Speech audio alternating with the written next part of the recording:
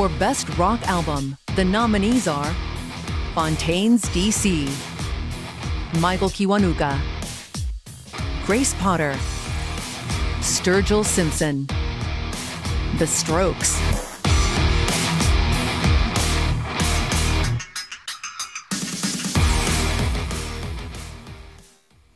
And the Grammy goes to The Strokes.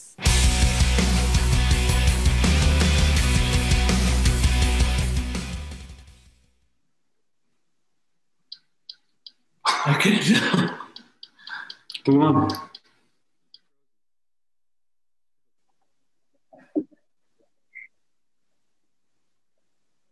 We can't hear who, who won.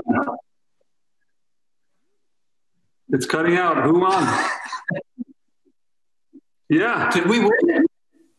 You guys won. Yeah. Um. Whoa! Damn. Uh, sorry, couldn't hear. Um, I don't know. Uh, there's uh, Rick Rubin, obviously. Magic is real. We believe in you. Wow. Um, I don't know. I feel like we could have won based on maybe the name alone. Really. Um, uh, let me think. Okay. Uh, Richard, Ryan, and Jack.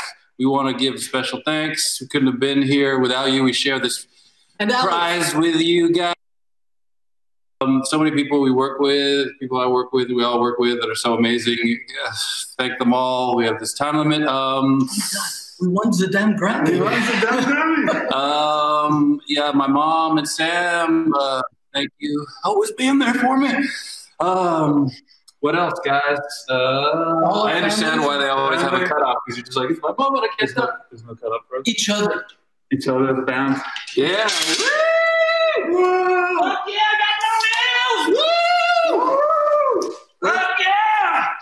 West Coast.